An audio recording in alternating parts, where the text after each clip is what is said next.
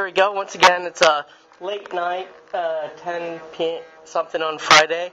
And so tell us who you are and uh, what you've built here. Uh, my name is Sohail Ahmed. Um, I've built a four-pole um, voltage control filter um, where the resistor values are controlled by four Vactrols, and the, the resistance of the Vactrols are controlled by the voltage of two sources of voltage, either from a 15-volt rail Mm-hmm. With the front panel pot. with a front panel pot or a control voltage um, input, which is also can be controlled by a pod. Yep. So let's let's take a look here. We've got a uh, sawtooth going in, and this is oh this is at max resonance. Actually, let me turn down the resonance first. Then so we'll listen to uh, your standard uh, four pole filter on a sawtooth. So that's fairly typical behavior. Um, that's me adjusting it by hand. Or we could put in a adjustable amount of uh, external CV. That is usual we're getting from uh, MOTM LFO. You know what? I should probably just make something with just this LFO because it's such a useful testing thing rather than carrying the rest of this around. Um, and so let's see. Uh, we could also crank up the resonance here. The resonance pot is a little scratchy. So let me turn up. There, there's this effect with four pole filters where when you adjust the feedback, you kind of lose volume.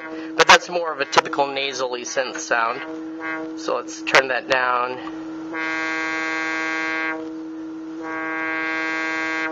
So there's a, or we could do a little bit of both.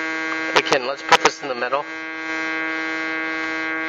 And then we can change how much influence we have here. The CV. And I can twist this all the way up to the top with the offset. So it's a lot in this uh, high frequency re- um, cutoff region. We can twist that all the way down or somewhere in between. So this is some other waveforms. Here's a square wave. Again, let's uh, manually sweep that. This is with high resonance. And here's with uh, low resonance. Let me turn the resonance down. So this is uh, low resonance. And here you can see the uh, typical filter waveform. It's um, it's it's louder here, so it's taking up most of the scope. Uh, as you might guess, what's on top is the usual um, input. Um, and just to show that it is doing a filtery thing, here's a sine wave. So as we increase, oh, that's with the, uh, yeah, so, okay, as we turn it,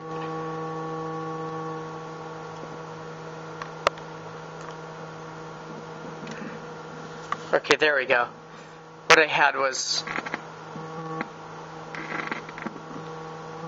That was just a pot. scratchy. So there's not.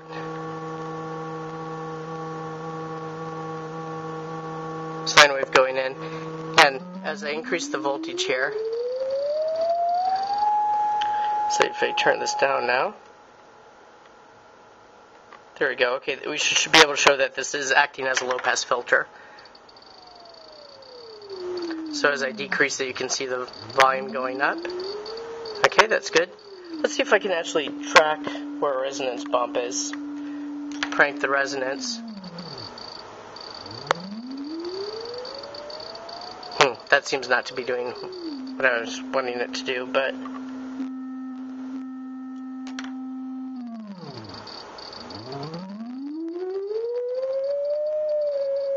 Anyway, okay, enough sine waves. I'm not quite getting it lined up exactly to do what I want to demonstrate. But anyway, it's cool. Um, again, it's late at night, so this is not. Oh, we can put a noise. Okay, that's not very interesting.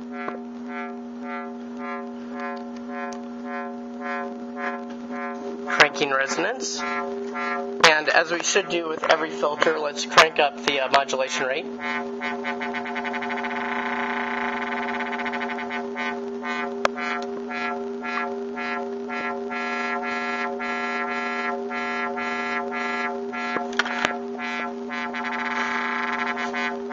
Here's a square wave, eh?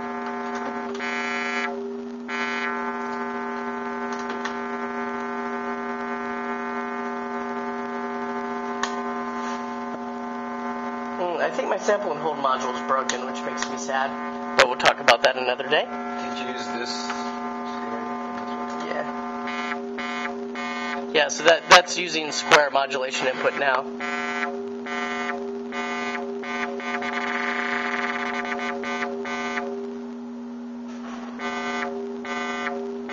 And here's that triangle wave again.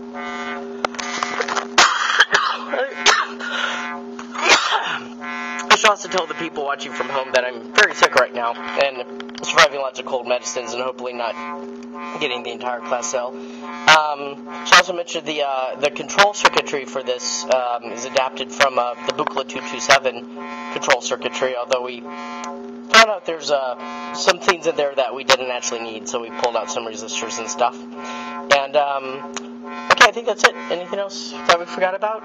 It makes neat noise. It's pretty messy. It's going to be cleaned up on a board soon. Okay, sounds good. So say bye bye.